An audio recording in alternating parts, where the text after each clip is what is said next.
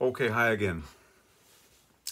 Uh, this will be the lecture for week five in our course, English 410. So the lecture for uh, Tuesday, February 9th. Um, and in our work together this week, we're trying at least to conclude the unit of our course that we have under the heading of uh, Transmission and Transcendence. Um, we're talking about the early modern period of English literature as one that is uh, saturated, as I've said several times, with with the Bible um, to a degree, and in a way, I would argue that uh, no time or place really ever has been before or since. Uh, and so we're trying to see what the literature of the period can tell us about the influence and the legacy of uh, the Christian holy book on um, thinking and expressing in uh, the period, uh, especially with regard to what I would consider our issues, literary issues, uh, and that is to say, once again, uh, questions having to do with the whole category of language and its relationship to the world, and those are issues that I've grouped under a heading of phenomenology, and also the whole category of text uh, and its major subfunctions, interpretation, understanding, and those are issues that I've grouped under the heading of uh, hermeneutics. We want having done kind of some uh, basic legwork uh, over the last week about some of the uh, major and salient stories and ideas and uh, hermeneutic patterns of the Bible, both Old and New Testament. We want now this week uh, to carry our inquiry forward into a look at a highly relevant uh, selection of literary texts, poems by uh, the great George Herbert, uh, whose dates were 1593 to 1633. Uh, I, I, keep using this phrase, saturated with the Bible. Well, if the whole period is, nobody in the period is more saturated with the Bible than is uh, George Herbert. Uh, absolutely dripping with it from every pore. Uh, neither is anybody uh, more brilliant or more linguistically sensitive than uh, George Herbert. So his work uh, in, in, his great book, um, uh, The Temple, his work gives us um, not necessarily a unique, but certainly um, an irreproachable, let's say, um, opportunity to ask what it's like um, to have the Bible uh, on your mind uh, like that to the extent um, that Herbert does, what it's like again in terms of those categories, those concerns that we have sketched out and that I've already uh, briefly reviewed. Um, now, from the work that we have already done through our selection of, of, of, passages from the Bible, we, I think, can sum up uh, the nature of the, the problems, the challenges that the biblical uh, tradition presents um, along, I guess I'm going to say, three lines. Uh, the first would have to do uh, with uh, that term that is in the title of our current module. The, the, the term is transcendence. Uh, so, as we have discussed, the uh, vision and conception of the divine, which is developed uh, in the first two books of the Bible, and especially the second one, the book of Exodus, is one in which uh, God is um, infinitely beyond the world, uh, let's say. Um, there is an unbridgeable gap uh, between uh, the world and this unnameable, unknowable, unseeable uh, God. Um, and yet at the same time, and in a sense, precisely because there is uh, this gap, there's a desperate need and desire to find ways to, to bridge it, to overcome it. So uh, the transcendence of the divine in uh, the Old Testament tradition, that's one of the problems that I think the biblical legacy presents to somebody like George Herbert who wants to write uh, sacred poetry.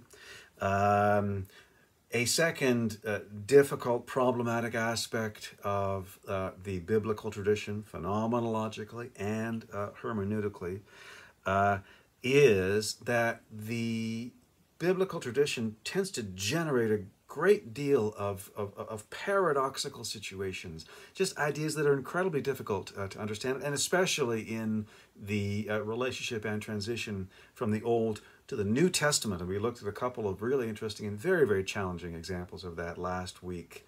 Uh, when, for example, ideas from the Old Testament law are given uh, metaphorical or at least non literal reinterpretations in the New Testament uh, context. Um, I'm thinking, for example, of the Romans 2 circumcision equals uncircumcision thing. Um, the notions that one has to take on in order to understand just the basic the theological uh, structure of Christianity are extremely difficult paradoxical notions. Uh, and that is a second uh, major and general aspect that I would highlight uh, as what comes out of uh, the intellectual influence and legacy of the Bible in the 17th century. And a third aspect uh, I want to highlight, which is kind of implicit in the first two, but we haven't really talked about it uh, as comprehensively yet as I think we uh, need to. It has to do with the question of, uh, of salvation. Getting saved.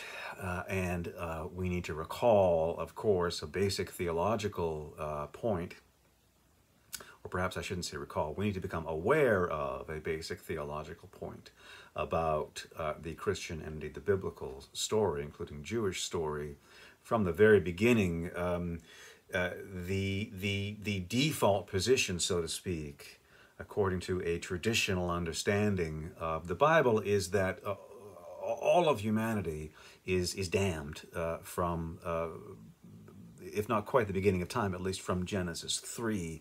Uh, the expulsion, the, the, the, the sin and fall and expulsion from paradise is supposed to leave, according to theological tradition, it's supposed to leave a kind of stain on all of us, and uh, so damnation is kind of the default.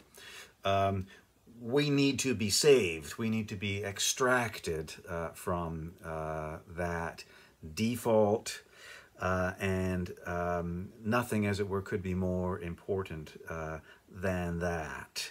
Uh, you need God to like you, uh, according to the traditions and the stories of the Bible, uh, because if He does not like you, if He is mad at you, He will do terrible things to you, uh, up to and including damning you for all eternity. and the question of salvation uh, is one, as we go through the Bible, and indeed through the history uh, of the Bible, uh, is one that becomes worse, not better, uh, let's say, along the following lines. Uh, in the Old Testament, and we just looked at a, at a very, very tiny selection of some relevant scriptures, uh, but in the Old Testament, in a sense, um, how you stay on God's good side, uh, so to speak, at least if you are one of the chosen people, the Jewish or Hebrew people. How to do that, in a sense, is fairly clear.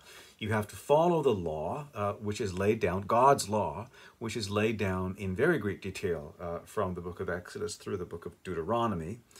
Um, and insofar as you sin or break God's law, you need to atone for that. And there's a whole mechanism and system in the Old Testament centered on the tabernacle for how you atone for your sin. So even though that's really, really difficult, and as some of you guys will know, the Old Testament Israelites in the whole story of the Exodus, they are they are constantly getting it wrong and getting very severely punished by God for that.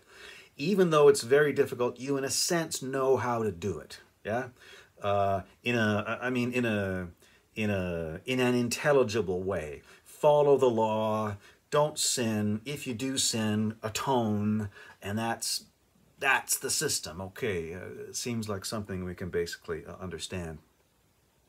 Uh, when Christianity comes along, uh, incorporates uh, the Jewish scriptures, adds on to them uh, the New Testament, that's the story of the, the stories of the life of Jesus of Nazareth, followed by a series of theological writings.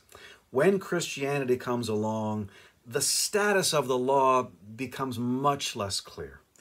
Um, uh, we get all kinds of uh, paradoxical and, and, and, slippery revisions of the meaning of the law, like the circumcision thing uh, that we saw in Romans chapter 2. Radical reinterpretations of the Old Testament law in terms of its inner meaning. Uh, but as we discussed last week, even though that's hermeneutically a very, very powerful move, it's also one which seems a little bit difficult to control and, and, and, and a little bit difficult to understand fundamentally, just in terms of its basic validity. That interpretation of the law in terms of its spirit rather than uh, its letter. In general, and in the with, it, it, painting with our very broadest brush, in general, uh, Christianity is supposed to bring a comprehensive reinterpretation of the Jewish law, the Old Testament law, according to which uh, that meaning of the law, which in the Old Testament appeared to be both literal and very diverse. So it's a whole bunch of different laws about all kinds of different things in the Old Testament. Uh, in the New Testament reinterpretation, uh, the meaning of the law becomes non literal, so it's not evident on the surface, and it actually becomes, uh, in a sense, unitary.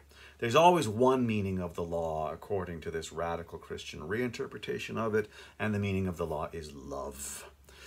So um, I gave you guys uh, on the Canvas page a link to a, a, a very strange uh, text by John Milton in the 17th century. It's a book he wrote on divorce. It's called The Doctrine and Discipline of Divorce. And I added it to our Canvas page, not because I want to talk about that issue, but because the, the section that I asked you to read has, has Milton ringingly stating this, uh, this intensely Christian view that love is the fulfilling of every commandment. Love is the fulfilling of every commandment. Uh, and that's not just Milton, that's, that, that's Milton expressing what is a kind of orthodox, uh, early modern uh, Christian interpretation of uh, of how Christians are to relate to uh, the Old Testament law. Overall, of course, it's much, much more, much more complicated than that. Nonetheless, the point for our purposes is there is at least foundational to the Christian reinterpretation of Judaism, a, a, a radical reinterpretation of the Old Testament law in, in terms of an inner meaning, a, a spiritual meaning, a non literal meaning, which is always the same love, love, love, love, love, love, love. So supposedly that's what God means when he's giving all those commandments uh, in Exodus 20, when he's when he's giving further laws and and uh, directions throughout Exodus, Levit- Leviticus, Numbers, etc. Uh, and that sounds great. So okay, the meaning of the law is love. Uh, wonderful. Um, but it's a little bit hard to understand, right? Uh, or a little bit hard to validate. Um, how can how can that really be uh, the meaning of every Old Testament law? Uh, how can that be the meaning of every scripture, uh, which is something that the great uh, St. Augustine, the founder of Roman Catholicism, says, for example. Uh, if you're ever concerned about what a given Bible story means, Augustine says, tell you what, it always means love. And if you can arrive at an interpretation which is consistent with the law of love, you're right every time. Sounds pretty good, also sounds a little bit difficult to validate. So that's that's what I mean by uh, the the whole question of how we stay on God's good side. Question of salvation.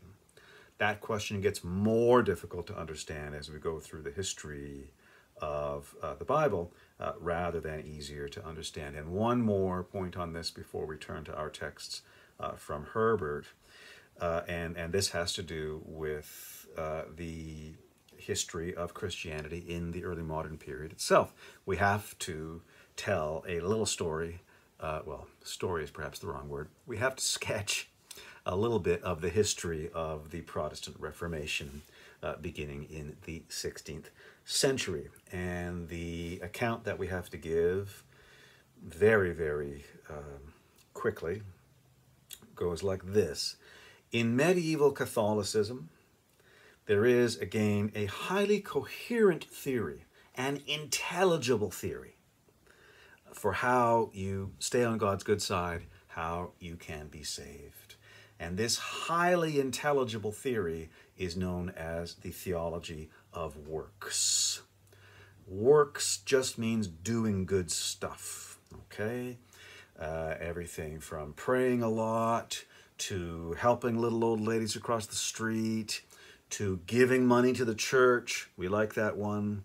These are works, and uh, good works are supposed to lead to a good outcome for you after death. They're supposed to help you get into heaven, spend less time in purgatory, and so on. Uh, that was the medieval Catholic idea. One really, really big thing that happened uh, in the Protestant Reformation is that the major reformers, Luther, Calvin, and so on, they looked at that medieval Catholic doctrine of works, the theology of works, and they raised some really powerful objections to it. Uh, one of which was that that that medieval Catholic doctrine was very much open to corruption, and certainly by the Reformation period, it had become a source of horrendous corruption. Uh, the whole practice of of the church selling indulgences, for example, whereby uh, if you can, if you have the money, you can actually buy your way out of purgatory uh, and so on and so forth. So it, it had become a site of horrendous corruption.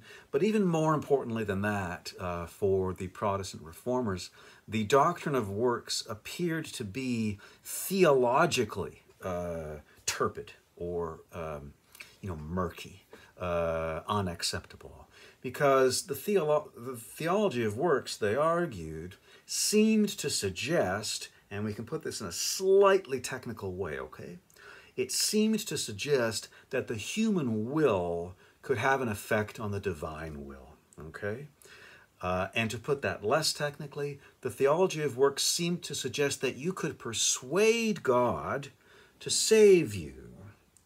Now, persuading is a changing of the mind, right? Uh, so it was as though uh, God might have decided, for example, based on your conduct from the time you were a little baby to the time that you're 52, uh, God might have decided, no way, that, that's not my guy. Um, too much bad behavior, going to hell. Then you come along and suddenly, like, you're helping little old ladies across the street like crazy and giving tons of money to the church and, and uh, who knows, uh, founding charities or whatever. And God says, whoa, I didn't see that coming. Uh, you know, that guy turned out to be a pretty good guy for all. Well, that the, the reformer said that's ridiculous. You can't change God's mind. You can't persuade God. Uh, the, the human will can't have an effect on the divine will. So what they proposed instead was what is known in Protestantism, and we'll wrap up this little theological survey very quickly. It's known as the theology of grace.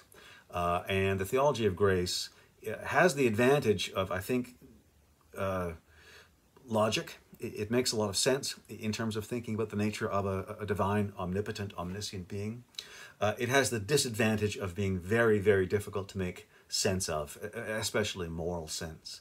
The theology of grace says, look, the only way we can really understand who gets saved and who gets damned is if we just accept that God decided from before the beginning of time who was going to get saved and who was going to be damned. That's called predestination. It's all decided uh, from the beginning. Uh, and in at, at, least the most intense versions of this doctrine, which we find uh, in uh, early modern Calvinism, which is the form of Protestantism that is basic to uh, George Herbert and to uh, early modern English literary culture. Uh, in the most intense versions of this doctrine, they say, look, God didn't even decide to save or damn you because he saw you were going to be a good person or a bad person. No, he just decided. And uh, you cannot possibly know or understand or question uh, that decision that he made.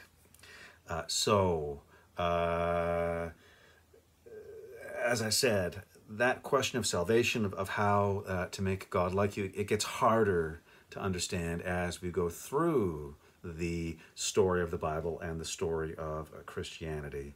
Uh, by the time we come to George Herbert's world, it seems that there isn't really any way to make God like you if he uh, doesn't.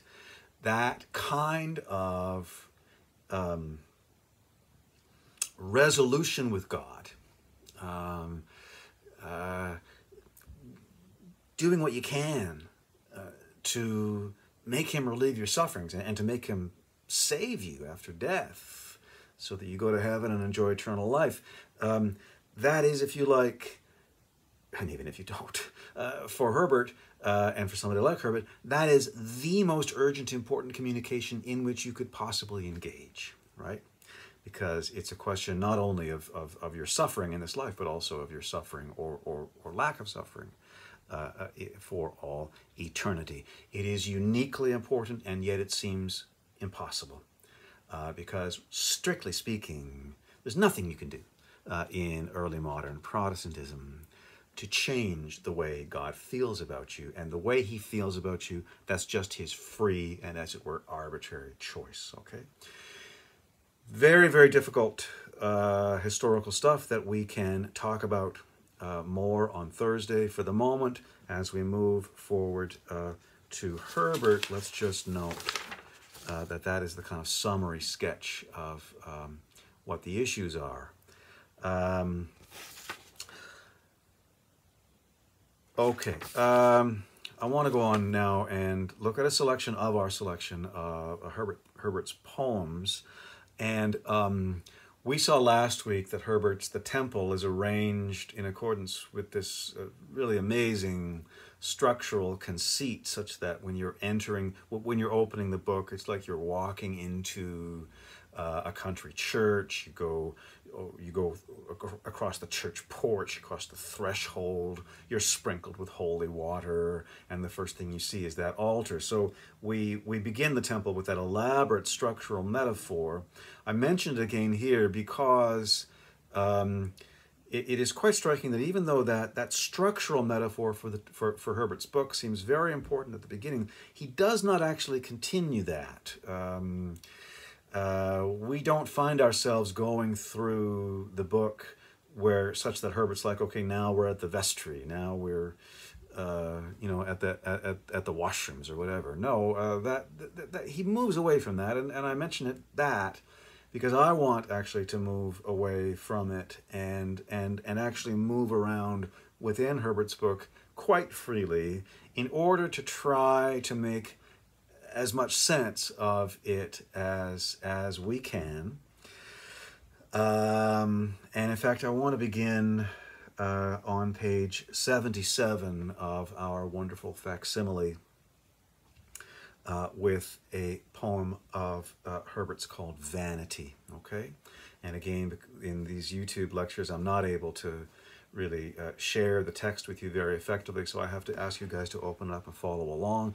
We will work with the text in more detail together on Thursday, but yes, I want to begin uh, on page 77 of the Temple with Herbert's poem, uh, Vanity. Um, uh, which I'm going to preface uh, as follows. We, we began this course a number of weeks ago now talking about the way in which, uh, well, we were talking about the uh, late 17th century slash early 18th century moment where we're getting the emergence of something like modern natural science. We're getting the emergence of um, uh, modern ideas of information, perhaps, of, of, of, of, of the automation of knowledge, all that uh, fascinating stuff in Wilkins and Leibniz. Uh, and I was making the point that that stuff um, is not sort of over against a Christian context. It actually emerges in a fascinating way from a, a, a Christian context, a biblical uh, context. So there are, uh, and I'll come back to this point at the very end of this lecture, there are some really interesting lines that we can draw between uh, the the world of the Bible in the 17th century and the world of emergent natural science, information technology, uh, and so on. Um, however, we do not find that in Herbert. I think I, I, I want to say that very clearly and from uh, the get go. Um, so uh, I, have used this facetious phrase several times. This is your mind on Bible. So George Herbert is your early modern English literature on Bible. What does that mean? How does that work? Well, in Herbert, it certainly does not mean or, or seem to entail a focus on or interest in anything like natural philosophy or um, scientific understanding of the natural world. Uh, Herbert does uh, engage in a number of his poems in a, in a kind of persistent fantasy of wishing he could become part of nature himself. So he has this persistent idea that comes up in another of poems where he'll, he'll say, life sucks, uh, and being a priest is so hard. I wish I were a tree, uh, Herbert says in a number of poems then at least I'd be good for something. You know, birds would come and nest in me and, and so on. So Herbert loves, I think, a fantasy of becoming an item of the natural world himself. Um, but it's always kind of in passing, and it's, it's precisely a fantasy of ceasing to be a thinking, feeling, moral human being, because that stuff is just so hard. Um, as a thinking being, as a feeling being, Herbert uh, is not concerned very much with the created world, but with the holy word. He's concerned uh, with the state of his soul. He's concerned with how to worship God. He's concerned with the question of salvation. And we can uh, pick that point up then from this uh, rather beautiful poem, well, very beautiful poem, uh, Vanity, um, where Herbert writes, the fleet astronomer can bore and thread the spheres with his quick piercing mind. He views their stations, walks from door to door, surveys, as if he had designed to make a purchase there.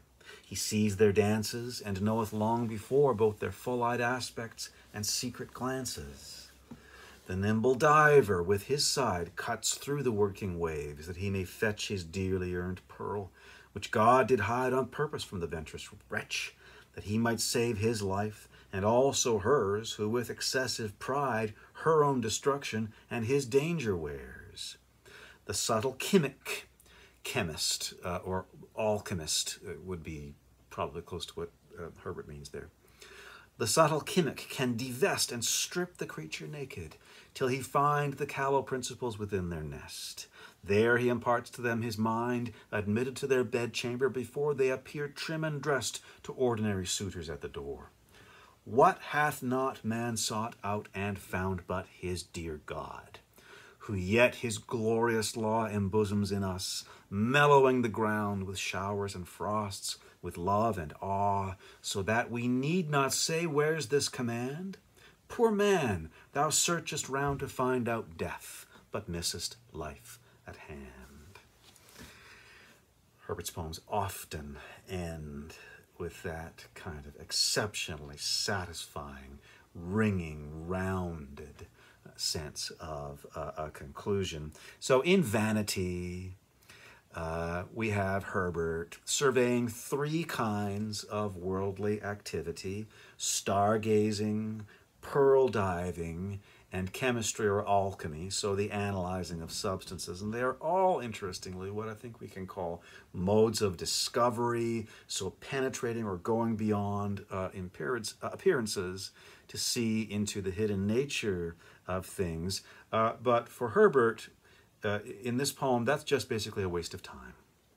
That's just looking for death. Life is at hand. So we end this poem, uh, Herbert's Vanity, with a kind of with a kind of Sunday schooly advice, which is a thing that happens frequently in Herbert. Uh, you know, don't waste your time with that stuff. Just look around. Uh, uh, God's command is evident just if you kind of go uh, for a nature walk. Um, so, um, what is Herbert's mind on Bible like? What is the effect of that? Well, it, it certainly does not interest him uh, in any kind of inquiry into the natural world. And I would go farther and say it, it doesn't even really interest him in the natural world or in the world at all. Uh, what matters to Herbert is the Word. What matters is is the Bible, is the Christian Testament. And uh, on that, I want to uh, go back uh, in our text all the way to page 29. We're going to look back at a poem of Herbert's called The Agony. Okay. Just give me one sec. Click, click, click, click, click. Page 29, The Agony. Uh, and you see what I mean about my kind of bopping around freely inside the temple. Vanity and The Agony, uh, I think, are quite closely related poems, but they are uh, certainly not associated uh, in, in, in the book. So I'm not sure how much work the actual sequence of of Herbert's poems uh, does here. So the agony on page 29 of the temple, Herbert says, Philosophers have measured mountains, fathomed the depths of seas, of states and kings, walked with a staff to heaven and traced fountains. But there are two vast, spacious things, the which to measure it doth more behoove, yet few there are that sound them, sin and love. Who would know sin, let him repair unto Mount Olivet, Mount Olivet, the site of the crucifixion of Christ. Let him repair unto Mount Olivet.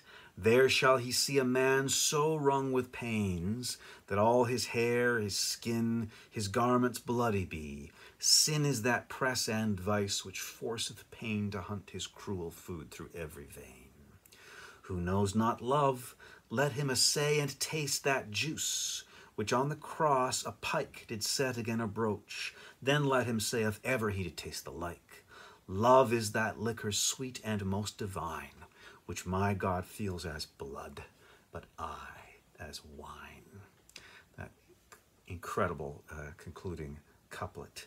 Love is that liquor sweet and most divine, which my God feels as blood, but I as wine uh, you know, George Herbert, along with John Donne and the somewhat later Andrew Marvell, they're the three greats of 17th century English poetry, whom we usually group together under the heading of so called metaphysical poetry, which means uh, uh, poetry of uh, complex thoughts, tortuous logic, and above all, a poetry of paradoxical conceits that's metaphysical poetry. The identity of blood and wine clearly is one of those paradoxical conceits, and the incredibly beautiful uh, rhyme, although very simple rhyme, that Herbert is able to lay on us at the end of his poem, The Agony, kind of kind of makes that conceit go down easy. Uh, love is that liquor, sweet and most divine, which my God feels as blood, but I as wine. Now, we recognize, I hope, based on the work that we did last week with the Last Supper scene of Matthew 26, uh, that Herbert is invoking here the, the central Christian concept and, and, and procedure of the Eucharist or communion, the idea uh, that. Uh, that, that Christ sacrifices, and of course, literally sacrifices his body, his blood, in order to pay the debt of human sin. And this is uh, this sacrifice is uh, is represented and as it were reenacted uh, in almost all Christian denominations through the procedure of the communion at the height of the Christian Mass or service, and it's in the Last Supper uh, that that Christ Himself kind of lays down that symbolic slash mystical procedure when he breaks bread and gives it to his disciples says this is my body. When he pours out wine says this is my blood. Um, and we talked last week about the extraordinary even though kind of um, dreadfully obvious and, and yet and yet extraordinarily strange intervention of uh, the the metaphorical that occurs there in Matthew 26 and other scriptures like it, and becomes normative to, uh, inseparable from uh, Christian hermeneutics uh, from that point on. Uh, Herbert is obviously invoking uh, that symbolism, that doctrine, uh, that idea at the end of the agony. But he's actually, if we go back to that previous stanza, he, he's invoking it via another scripture, which we didn't look at. Uh, it's from the Gospel of John. Excuse me. It's from the Gospel of John, uh, chapter 19. At least I don't think I add. Well, we didn't look at it together. Uh, Gospel of John, chapter 19, which is a moment in the story of the crucifixion uh, when um, uh, Jesus has, has died on the cross and uh, Roman soldiers come along and uh, stick a spear uh, in his side. Blood and water uh, flows out, and that is supposed to be again a symbolic representation or prefiguration of uh, the Eucharist. And it's very gory, right? Um, that blood uh, gushing out. Um, when we talk about metaphors uh, in the literary business, like the metaphor of the communion wine being the blood of Christ, um, when we talk about metaphors, uh, it is conventional for us to distinguish between what we call the vehicle and the tenor of uh, the metaphor. Um, the, the tenor of the metaphor is what it actually means, okay? Uh, so uh, the, the, the, the vehicle of the metaphor is, is what allows it to mean that. So, blood gushing out of the side of the crucified Christ in John chapter 19, that, that's a vehicle. Uh, uh, its tenor, its meaning is the Eucharist, the communion, the, the opportunity for, for believers to attain salvation through participation in the life of the church. Uh, what Herbert does uh, at the end of the agony, I think, is really quite remarkable, uh, which is that he sticks our noses in the vehicle, uh, if you see what I mean. Um, you know, if we go back to Matthew 26, when Christ is pouring out that wine, he's saying, This is my blood. We're like, Well, no, that's not your blood. That, that, that's wine. But we understand that you mean that's your sacrifice for us and therefore the opportunity of salvation. Herbert makes us look at that blood, makes us look at that gore covering the crucified Christ and gushing out of uh, his side in John chapter 19. And those incredible lines at the end of the agony Love is that liquor, sweet and most divine, which my God feels as blood, but I as wine. Yum. Uh, these incredible, beautiful, ringing lines that are, as it were, trying to make us like that idea, uh, trying to make that gory notion which lurks inside the central Christian ceremony, the notion of drinking Christ's blood. They're trying to make that gory notion palpable, uh, intelligible, lovable. Uh, and so I guess the question that arises uh, out of a poem like this one is that even doable? Uh, is that what George Herbert wants us to kind of get or settle on? Loving the idea of drinking Christ's blood, that sweet, sweet wine? Uh, or does he rather want us to grasp that that's ungraspable? Uh, to see that we can't ever really love that? I'm, I'm not sure. Um, what I think I am sure about is that Herbert, in a poem like this one and many, many others, Herbert is a poet, a poet of struggle, um, saturated with the Bible, as I have said many, many, many times now, obsessed with it, uh, directed and driven and guided by it, and yet not really understanding what that means or, or, or where that goes. What is it to be obsessed with the Bible? Well, Herbert himself is trying to figure that out. Um, and I guess it's worth pausing there and, and, and, and noting uh, well, a couple of things, uh, but uh, one of them, and the simplest one, would be um, Herbert, you know, sometimes he's Sunday schooly, and those of us who do not do not have Sunday school dispositions, that may not really work for us. sometimes Herbert is Sunday schooly. For my money, nobody does Sunday school better than George Herbert. I mean, I think if George, if George Herbert had been my Sunday school teacher, I might have lasted longer. Let me put it that way. Uh, but George Herbert is not a poet of kind of, you know, Christianity tra la la. Uh, and in part, this has to do with the way in which Christianity is understood in the 17th century. It is not, um, you know, this kind of evangelical lifting up of lifting up of hands thing that we have in a lot of uh, denominations today. No, uh, Herbert is a poet of of agony, uh, of suffering, of doubt, uh, of despair, uh, and and it is precisely the Bible that is doing that to him. So he's trying to figure out again where that goes, what its outcome is, how he can understand. Uh, that's critical.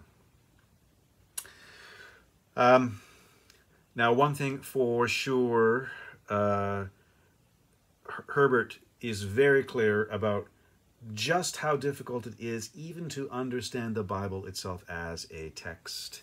And uh, accordingly, he actually, for those of us who consider ourselves students of the history of culture, so this has nothing to do with, you know, faith or anything like that for those of us who think of ourselves as students of the history of culture, Herbert is a very, very useful writer because uh, he helps us to understand how difficult it is to understand uh, the Bible, how paradoxical and mercurial its theological and other hermeneutic uh, structures are, especially uh, when we think in terms of the relationship between the Old Testament so, again, the Jewish scriptures and the New Testament, the specifically Christian part of the Christian Bible, which basically consists in a radical reinterpretation of the Jewish scriptures. I mean, as radical as it possibly uh, could be. Um, and that creates all kinds of interpretative problems. Uh, and on that note, I want to turn to another poem now. We're going to go all the way up to page excuse me, page 120 uh, in the temple and look at Herbert's poem, The Bunch of Grapes, okay?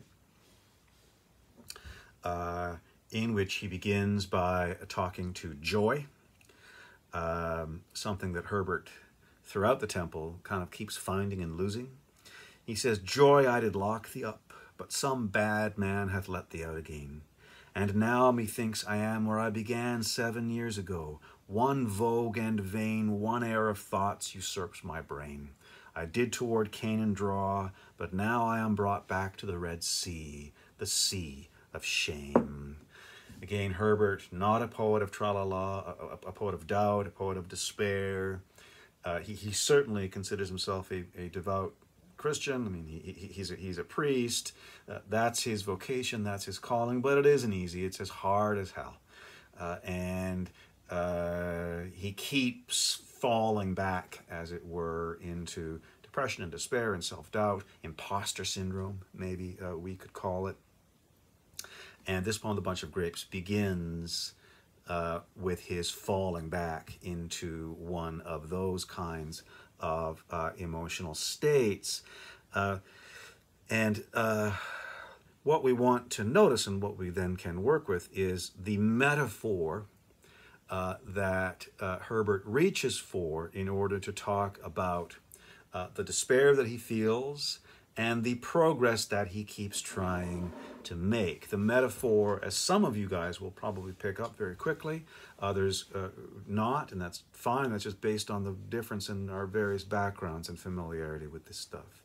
Uh, the metaphor that Herbert reaches for is, of course, from the Old Testament. It's the metaphor of the, the journey undertaken by the Israelites, the Jewish or Hebrew people, after their escape from Egypt uh, in Exodus toward what's called the Promised Land, the land of Canaan. Uh, and this story of the Israelites' journey is the story, if you like, of the first five books of the Old Testament. Genesis, Exodus, Numbers, Leviticus, and uh, Deuteronomy. Leviticus, Numbers, and Deuteronomy. Um, uh, in the Christian reinterpretation of uh, the uh, Jewish Bible, um, that journey of the Israelites from Egypt to Canaan is is is read very frequently or typically allegorically. It is uh, an historical fact, so to speak. They would they would think uh, they they would certainly literally believe that there was an exodus and the and, and the Jewish people uh, underwent that forty year wandering in the desert before entering the promised land, etc. But they would also uh, see that story as offering itself through an allegorical or spiritual meaning. It's about the journey of the soul. It's about the journey of the soul towards salvation and the entry into Canaan, then uh, the entry into the promised land is understood as the entry into heaven and into uh, eternal life. So that's the metaphor uh, Herbert reaches for. I was doing so well. Now I'm right back at the beginning. I'm right back at the Red Sea, uh, where the Israelites um, were uh, in Exodus 14, as you may recall. Uh, just at that early point of the escape uh, from Egypt. And I guess on that point, uh, it's left completely ambiguous in this first stanza of Herbert's The Bunch of Grapes, whether when he says, I'm back at the Red Sea, does he mean I'm back at the Red Sea just after they crossed it? Or am I back at the Red Sea just before they crossed it, looking at uh, that expanse of water and hearing uh, Pharaoh's horsemen thundering up behind. In any case, uh, as we go through the poem, Herbert develops this metaphor. Uh, he says, For as the Jews of old by God's command traveled and saw no town, so now each Christian hath his journey spanned. Their story, that is to say, the story of the Old Testament Israelites, their story pens and sets us down. A single deed is small renown. God's works are wide and let in future times. His ancient justice overflows our crimes. Then have we too our guardian fires and clouds. So these are other elements of uh, the story of the Exodus, in which God is supposed to have led the Israelites in a pillar of, of cloud by day and a pillar of fire by night. Uh, our scripture dew drops fast. So here Herbert is invoking the story of the manna, the miraculous food which drops from heaven to feed the Israelites during their 40 years in the desert. And Herbert saying, well, so yeah, we have we we have guardian fires and clouds. You know, we've got um, comets, maybe. Um, meaningful clouds uh, in, the sky. Uh, we've got scripture dew. Okay, we don't have manna, but the scripture falls on us like dew, or the scripture falls on us with the dew. It gives us heavenly food. That's the idea. Our scripture dewdrops fast. We have our sands and serpents, tents and shrouds. Alas, our murmurings come not last. But where's the cluster? Where's the taste of mine inheritance?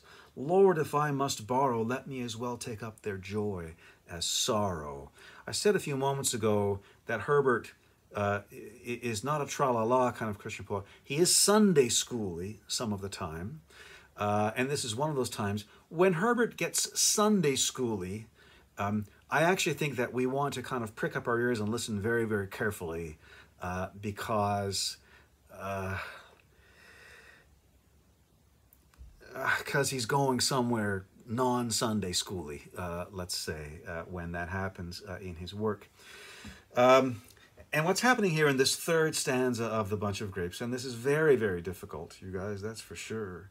Uh, Herbert, he's done this little kind of, again, Sunday schooly survey of the story of the Exodus and says, well, this works out very well. My spiritual journey as a Christian maps very nicely onto this Old Testament story, and I can, I can point to all kinds of things that have their equivalents uh, in uh, the story of the Exodus. He brings that whole kind of Sunday schooly bit up to actually another specific scripture, which he's invoking here when he says, uh, Where's the cluster? Where's the taste of mine inheritance? Uh, Herbert is here invoking a specific scripture from the book of Numbers. It is uh, the book of Numbers, chapter 13, uh, in which what happens is the Israelites have come up to the very border of the promised land and they send scouts into the country. Moses and Aaron sent scouts into the country to, to see what it's like. Uh, and among other things, the, the scouts come back with this bunch of grapes uh, that they have cut down in the promised land. Um, Herbert saying, Where's the cluster? Where's the taste? I, invoking uh, this moment in the book of Numbers. Uh, and what does that mean? Well, it means, okay, I guess, when do I get there? You know, where is the taste of mine inheritance? The Israelites got to enter the promised land. Why don't I? Where's the cluster? Where's the taste of mine inheritance? Lord, if I must borrow, let me as well take up their joy as sorrow. But can he want the grape who hath the wine? I have their, I have their fruit and more. Blessed be God, who prospered Noah's vine and made it bring forth grapes good store. But much more him I must adore, who of the law's sour juice sweet wine did make. Even God himself being pressed for my sake. Very difficult uh, concluding paragraph in which Herbert's doing a couple things that we need to note and try to grapple with. He's asked this rhetorical question in the previous stanza Where's, my, where, where's the taste of my inheritance? Then he says, Oh, but can he want the grape who hath the. I, have got the wine, he says. Um, you know, grapes make wine, right? So if I've got the wine, I've already got the grapes. I've got the wine, he means, in the sense that I already have Christianity. I have the Bible. That's the wine. Uh, so all of those, all of that Old Testament stuff, that all got that all got uh, reduced, as it were, into the New Testament. That's what I have. Uh, so I should be happy. Um, uh, Blessed be God who prospered Noah's vine and made it bring forth grapes, good store. These grapes uh, kind of haunt Herbert's imagination.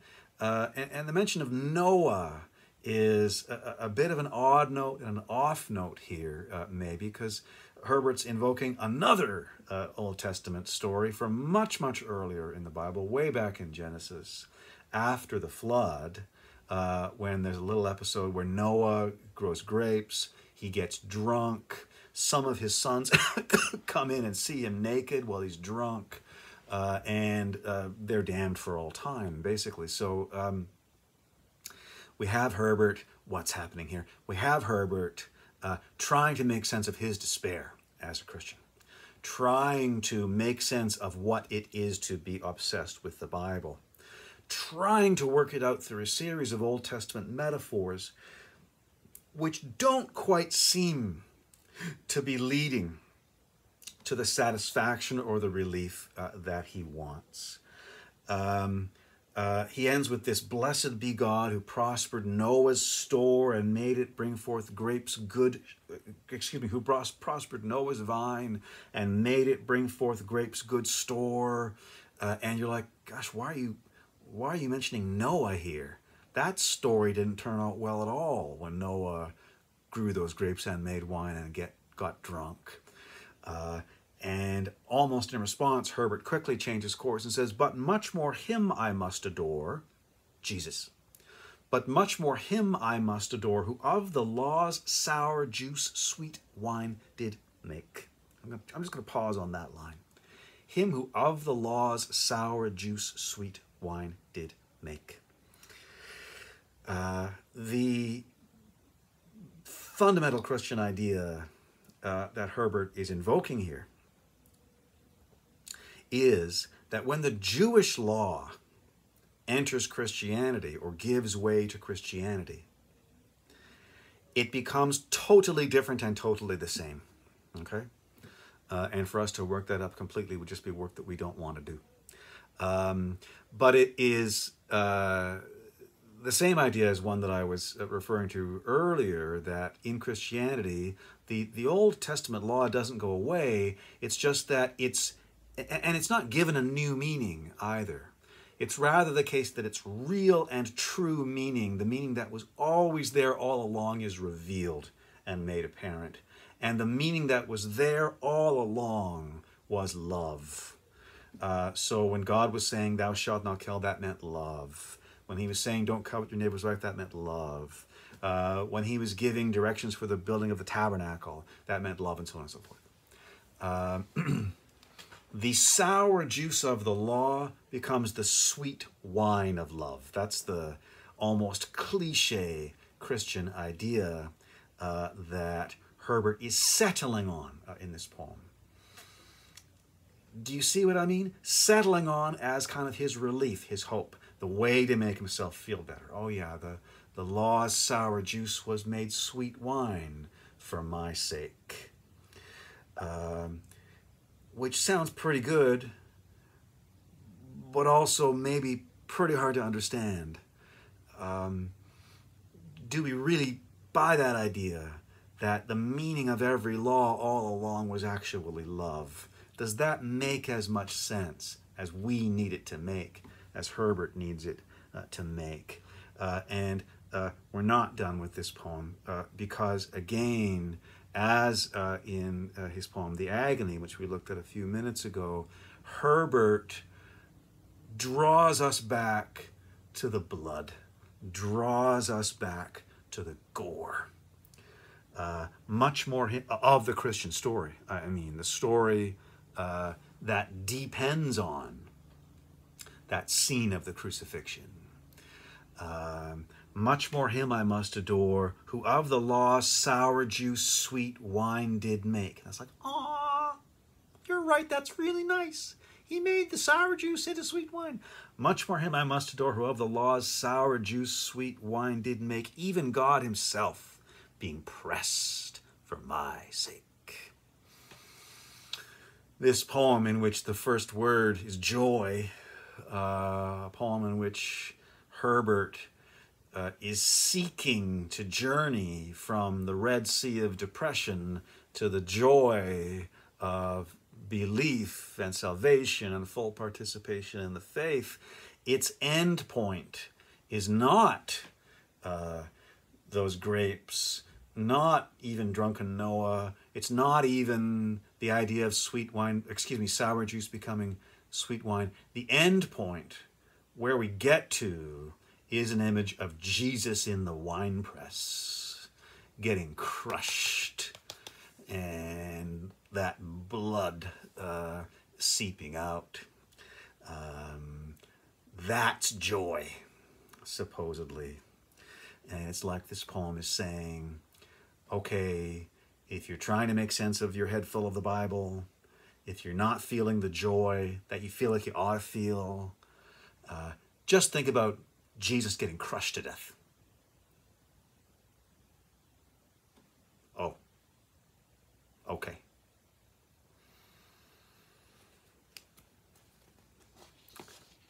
But I, I, I don't actually believe that that image makes even George Herbert feel joyous. So what we have so far with our work on George Herbert is uh, he is giving us again, not a kind of um, Sunday school entry into Christianity. Um, and even though George Herbert's poetry is incredibly brilliant, incredibly sophisticated, and often incredibly beautiful, uh, that's not the point either. What, what, what Herbert is giving us is a, a, a, picture, a tour, maybe we could say even, of just how difficult it is to be obsessed with the Bible uh, in English literature in the 17th century, how hard it is uh, for your mind to be full of the Bible, saturated with the Bible. Perhaps it's at its very worst uh, it, it, from a rigorously Christian, which is to say New Testament uh, perspective, and perhaps it's at its worst, this Bible mind experience Perhaps it's at its worst under conditions of Protestantism, and that's again because of that uh, revised idea that you have uh, in Protestantism of, of what salvation actually looks like, how it actually uh, occurs. It doesn't occur through works, it occurs uh, through grace. Ultimately, it becomes a, a, an idea of something God decided at the beginning of time, or sometimes people will say before the beginning of time, just to make it seem really scary. Um, and uh, in the harshest forms of this doctrine, you are you are also supposed explicitly to accept what's called double predestination, which means it is not just the idea that God decided who was going to be saved and kind of forgot about the other people. It is rather the idea that God explicitly decided who was going to be saved and explicitly decided who was going to be damned, uh, and that duly comes to pass. A very, very difficult doctrine uh, to feel uh, very good uh, or uh, joyous about. And um, I want to look at a poem with you on that, but in my notes here I have neglected to put the page number down, so forgive me for scrabbling for a moment. The poem is called The Watercourse, and yes, we will find it on page 165 of our wonderful facsimile of uh, the temple.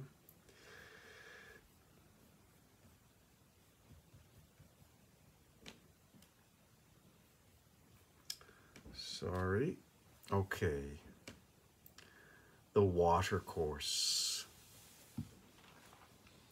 Oh, excuse me, it's on page 164, just at the bottom.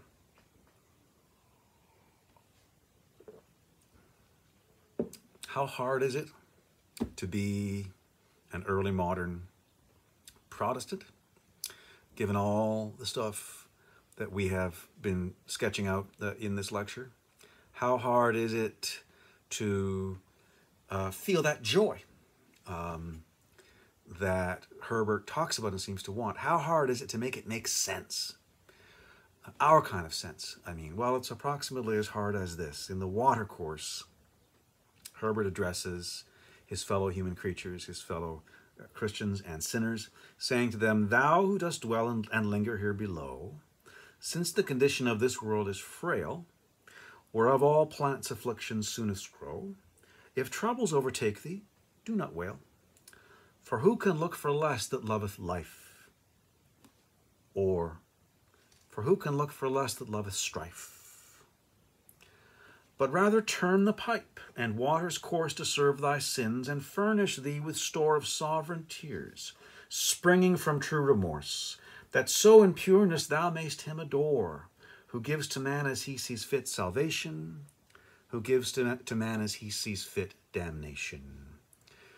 Uh, how hard is it? How can you make it make sense? Uh, Pro, uh, Herbert asks, and the answer is, well, all you got to do is see uh, that life is the same as strife, and as far as you can possibly know, salvation is the same as damnation. Or perhaps to put that a little bit differently, that reading, if we if we focus on that that image and that symbol that uh, Herbert uses, the symbol of the water course, so the water pipe. Um, feeling sad, just turn the pipe. You know, feeling sad because you're worried about salvation, uh, because your life is full of strife, your life is strife, just turn the pipe uh, and recognize that what comes out of that pipe for you is tears. Uh, and where those tears lead is toward damnation. And, you know, just go with that and accept it. Easy, right? Well, no, of course not. For us, including for Herbert, that cannot possibly make sense we cannot possibly, well, even if we accept that idea, that we may be damned, there's nothing we can do about it other than, you know, cry appropriately and say to ourselves, well, I guess that's my lot in life. Despair. Even if we attempt to accept that, uh, we can never actually understand that. We can never uh, grasp that uh, inwardly. Uh, so, what emerges, I think, uh, at this point from our work on Herbert uh, is that, you know, even though he, he can be very Sunday schooly, and even though he maps out, as it were, a radical version uh, uh, of a doctrine of patience under early modern Protestantism, you've just got to accept whatever God has in store for you that is really not where Herbert stops, or um, it's more like where Herbert starts. Uh, let's see. There is a need for understanding uh, in Herbert. Uh, and at the deepest level, and at its very best, Herbert is deploying all of his brilliance and his creativity to bring himself and us to moments where uh, these matters of theology and salvation that don't seem to make any sense at all, moments at least where perhaps we glimpse a way uh, in which they can make sense. Um, and, uh, you know, we've talked about uh, the concrete poems. Um,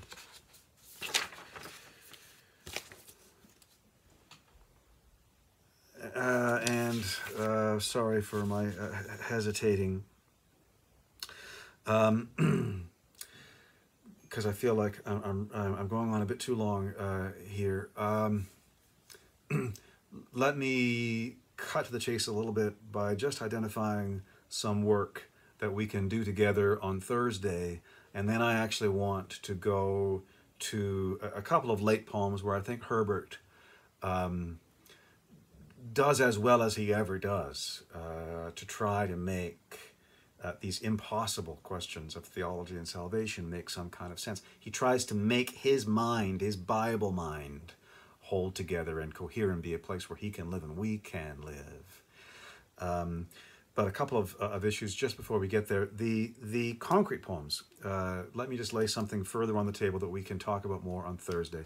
As we said last week, you, you come to those concrete poems and, and it looks like you know how they work. It turns out you don't. Uh, the altar, for example, does not actually fit up. The, the, the, form, I mean, of that poem does not simply repeat or underline the, so to speak, content of the words. No, there's, if anything, there's a discontinuity uh, between uh, those two. I'd like to talk about that some more on Thursday. The other example, of course, and it's a really spectacular example, is Herbert's poem Easter Wings. We touched on that very briefly at the end of our time together uh, last Thursday.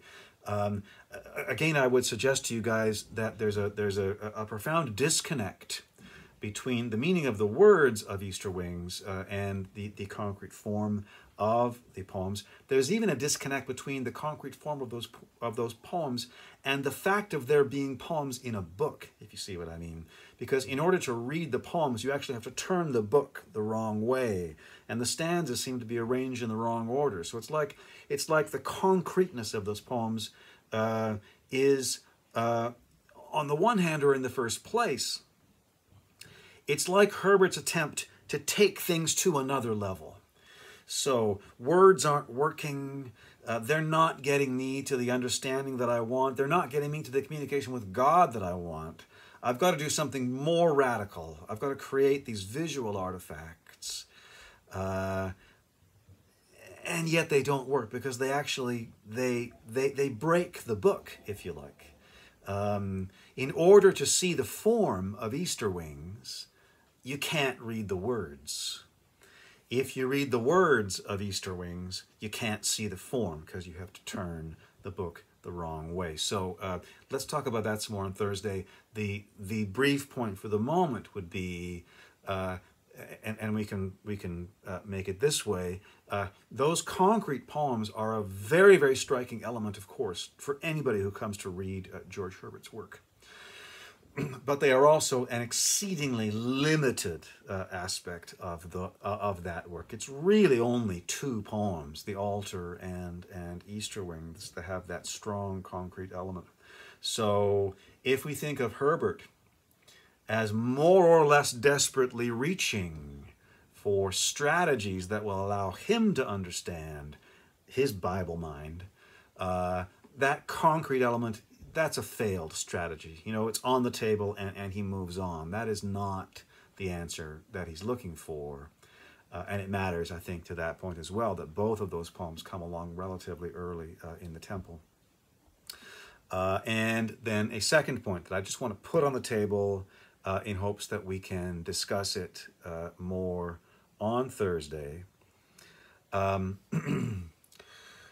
there's a great deal of concern in Herbert about how you should express yourself, how you should write your religious, your Protestant poetry.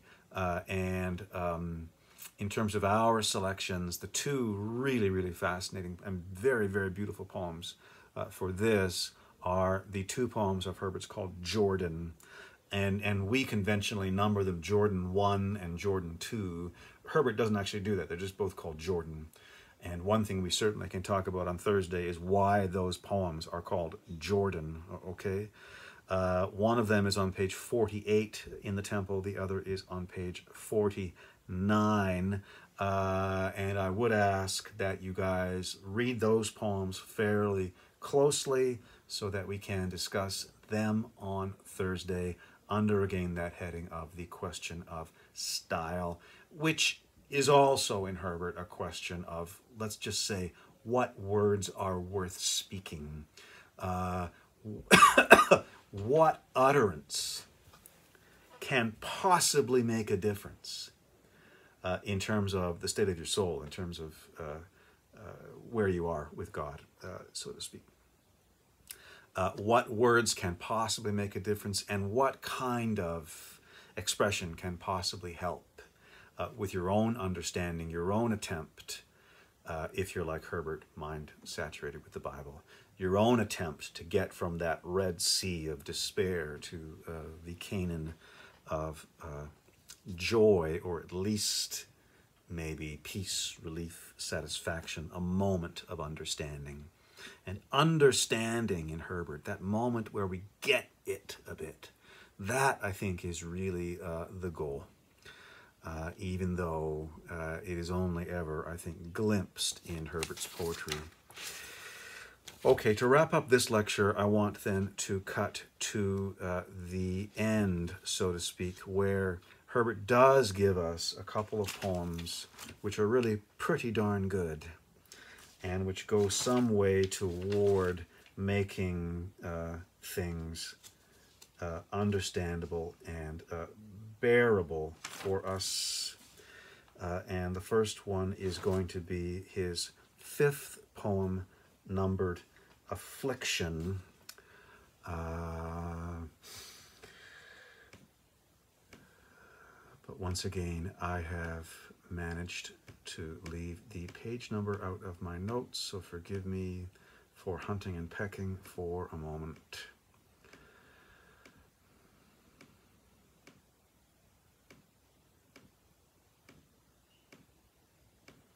Guys can just fast forward through this part.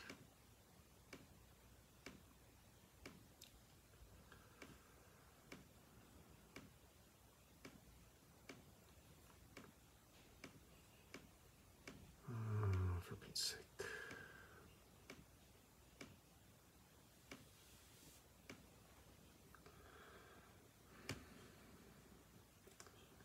I apologize profusely for this uh, lack of organization on my part.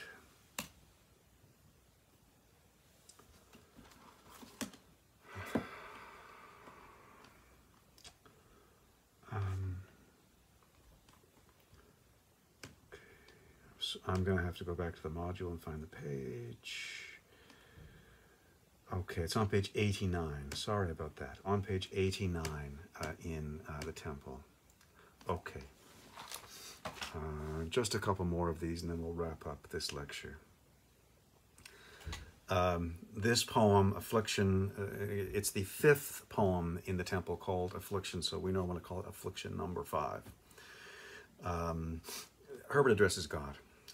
He says, My God, I read this day that planted paradise was not so firm as was and is thy floating ark whose stay and anchor thou art only, to confirm and strengthen it in every age, when waves do rise and tempests rage.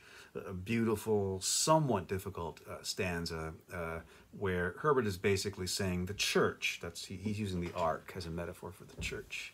The church is more stable uh, than paradise was because the church, uh, the, the church, the ark, floats on top uh, of those waters uh, and uh, its stay and anchor is God Himself. So the church just gets stronger and stronger in every age. Uh, we begin this poem, then, affliction number five, in a very, very Sunday schooly mode. And that's the mode that Herbert stays in for the, the first part of the poem. He says, At first we lived in pleasure, so in paradise. At first we lived in pleasure, thine own delights thou didst to us impart. When we grew wanton, wanton means naughty, when we grew wanton, thou didst use displeasure to make us thine. Yet, th- yet that we might not part. As we at first did board with thee, now thou wouldst taste our misery. So another difficult kind of uh, summary, uh, I mean, making a summary, uh, theological stanza, little story, a, one stanza version of the Christian story. Uh, at first, we lived in pleasure when we were in paradise, in Genesis 1 through 3. But then we were naughty, the fall and all that stuff. So, what did you do, God? Well, you used displeasure to make us belong to you. You gave us pain and suffering. Thanks, man. Uh, when we grew wanton, thou didst use displeasure to make us thine. Yet that we might not part, as we at first did board with thee, now thou wouldst taste our misery. In, or, in other words, you incarnated yourself as, as Christ to come down and, you know, participate in, in, in pain and suffering with us. Sounds great so far. Uh, third stanza, Herbert says, There is but joy and grief. If either will convert us, we are thine. Uh, some angels use the first. If our relief take up the second, then thy double line and several baits in either kind furnish thy table to thy mind. Um, Herbert's using and deploying here a, a very, very ancient uh, Christian symbol, goes back to the Gospels, uh, which is the symbol of, of, of, Christ as a fisherman. And of course, Christ in the Gospels is associated with fishermen. Most of his first uh, disciples are, are fishermen.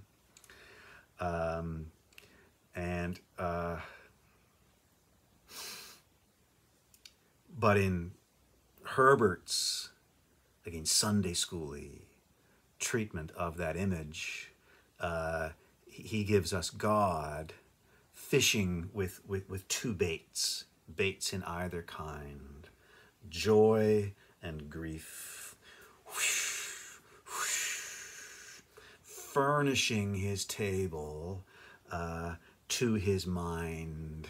So uh, it is a very difficult, let's say, image uh, that Herbert develops out of that uh, uh, classic one of Christ as a fisher of men. Um, in, in, Herbert's version, it's God fishing with joy and getting joyful fish, fishing with grief and getting uh, griefful fish. And those are both us squirming on that plate. Uh, but that's the way God likes it some joy and some grief. Um, so, the point I'm trying to make about this incredible poem, Affliction 5, is Herbert again uses and deploys that Sunday schooly stuff with a very kind of straight face. Um, as though, in order to, to give us uh, a dish, a plate full of doctrine that we are supposed to like, uh, which is the doctrine uh, that, you know, if we suffer, uh, if we have grief, that's great because that's another way for us to belong to God. There is but joy and grief. If either can convert us, we are thine. Uh, a very, very difficult dish for us to eat, I think. And that's the point. But then what Herbert does from exactly that moment in this incredible poem, I think is really very remarkable. For me, at least, what he does is he manages to take this unbearable and intolerable Sunday schooly um, repetition of the doctrine of patience. You know, if you're suffering, that's great. That's God's design for you. And, and God likes it that way, and you just have to accept that. It's like the water course, right? Just turn the course. And, accept that tears are yours, suffering is yours, strife is yours, damnation is yours.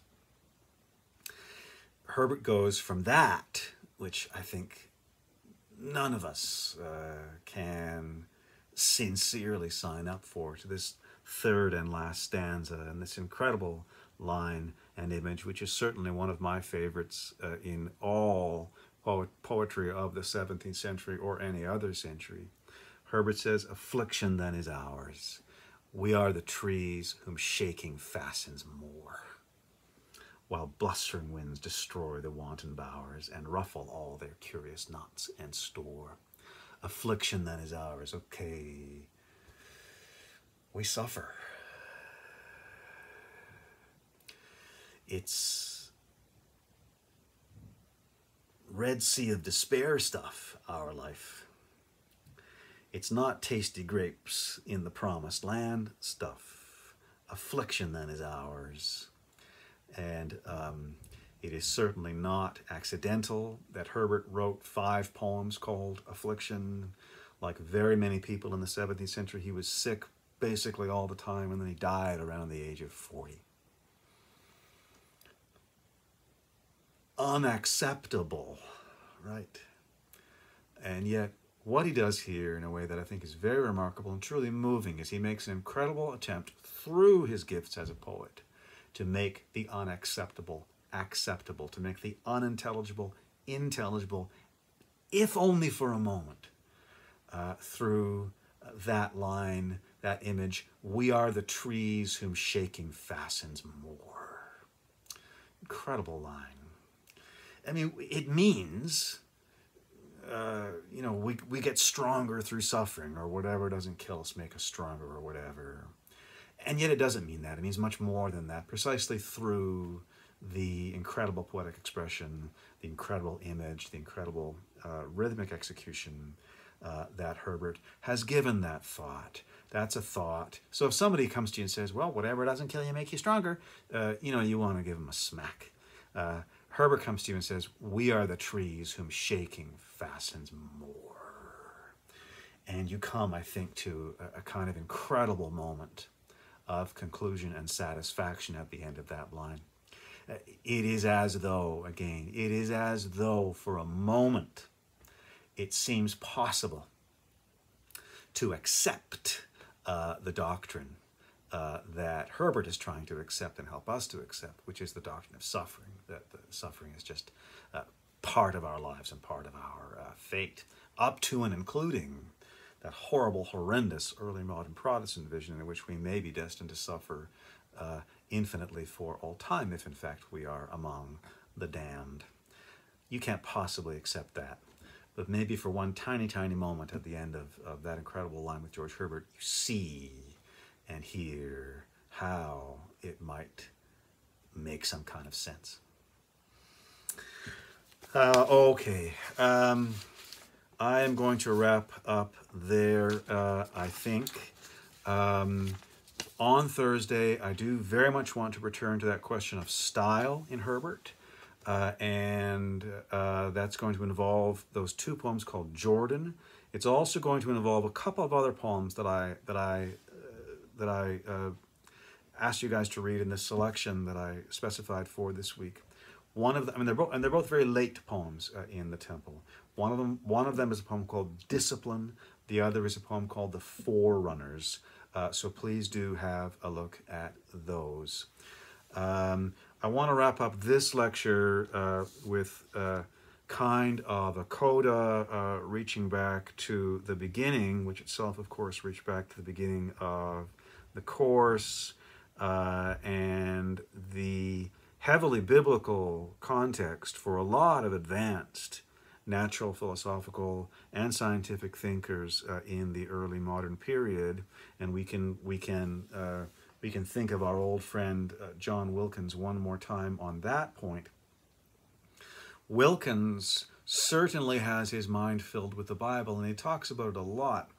Uh, but there is something I think uh, kind of obvious and yet worth noticing about the way in which Wilkins talks about the Bible, the way in which the Bible, for somebody like John Wilkins, seems to function as a text that points in a kind of progressive intellectual or natural philosophical direction. Surprisingly for Wilkins, uh, the Bible, insofar as it is productive and useful for him, it's really the Old Testament uh, that he talks about, and primarily even the book of Genesis that he talks about, including the specific stories from Genesis that we looked at uh, together over the last uh, couple of weeks. So, uh, and, and indeed, the book of Genesis in the early modern period, it had the status of a kind of sacred book of natural philosophy. Um, the world as mapped out by God, something uh, like that. So uh, when we're looking at a guy like John Wilkins, we're looking at a mind that is certainly saturated with the Old Testament and saturated with Genesis, and it's very useful for the thinking that he wants to do about the nature of language, for example, out of Genesis 11. I don't think necessarily when we're looking at a guy like John Wilkins, we're looking at a mind that is saturated with the New Testament, at least not as much. That does not seem to be as useful for him. Uh, Herbert is a mind saturated with, obsessed with uh, the New Testament, and it leads him into these very, very difficult meditations, as we have seen, not about you know science or the world or anything like that, but about much more uh, traditional core religious concerns about theology, about salvation, about suffering, and so on. Okay, so I'm going to stop this lecture there and we'll talk more about Herbert on Thursday. Thank you very much.